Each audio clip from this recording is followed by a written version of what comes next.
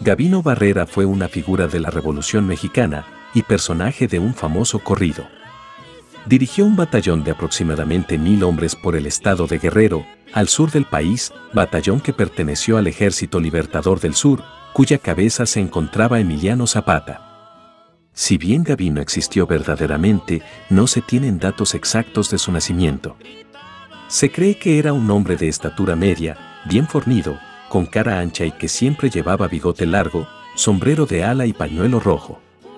Se trataba de un personaje que llevaba la rebeldía innata. Gavino la ahogaba cogiendo un sinfín de borracheras y metiéndose en peleas en las distintas cantinas que solía frecuentar.